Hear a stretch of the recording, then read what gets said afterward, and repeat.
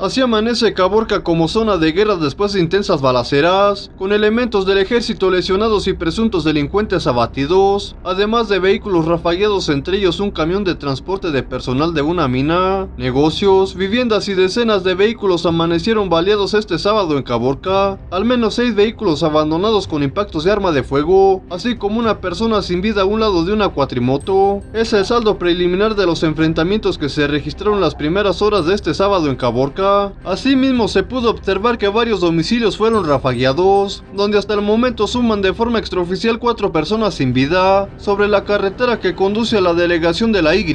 escasos 3 kilómetros de esta ciudad, fue dejado abandonado un jeep de color verde sobre la entrada a la yarda Castellanos, y escasos 200 metros se encuentra una camioneta donde se menciona que hay detenidos, después de que se enfrentaron con los elementos de la Sedena, quedando dos unidades de la corporación dañadas, mientras que a la del kilómetro 5 se encontró otro vehículo incendiado, donde se confirmó que fue abandonado y tuvo que ser sofocado por personal del cuerpo de bomberos. Y se suman a estos hechos violentos el cuerpo de una persona del sexo masculino que se encontró a un lado de una cuatrimoto, y a su alrededor se encontraban armas de fuego y un chaleco antibalas. En este momento autoridades se encuentran dispersas en varios puntos donde se reportaron autos y casas baleadas. De estos hechos se menciona de forma extraoficial la detención de al menos dos personas por parte del personal de la Sedena.